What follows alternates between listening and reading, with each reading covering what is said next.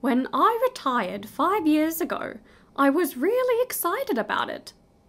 I had worked for over 45 years and was ready for a vacation. But after five years, I'm not so sure if I like retirement. When I retired, I really enjoyed taking trips, watching TV, and sleeping in every morning. Unfortunately, I got tired of relaxing after about a year. I actually miss working a lot. Recently, I had a great idea.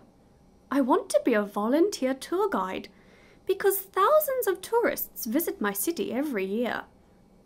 I can show them famous places and teach them about local history.